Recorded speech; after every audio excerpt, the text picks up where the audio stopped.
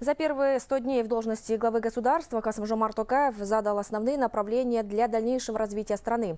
И это самое важное, считают эксперты. Это трансформация политической системы на основе демократии. Президент начал проводить активную кадровую политику, направленную в первую очередь на омоложение кадрового состава. Были созданы новые министерства. Также Касым-Жомар Токаев начал активное движение в сфере внешней политики. До, еще до своего избрания, как мы знаем, были совершены важные официальные визиты в Российскую Федерацию, в Узбекистан.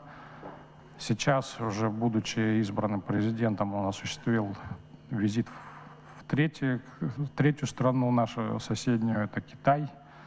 Готовится, насколько известно, встреча глав пяти центральноазиатских государств, опять же, Будет форум также межрегионального сотрудничества с Россией. Вот эти 100 дней президента Такаева э, как раз показывают то, что политическая система э, Казахстана э, вполне сложилась, и не просто сложилась, она сложилась как устойчивая, функционирующая и способная передать власть без всяких проблем.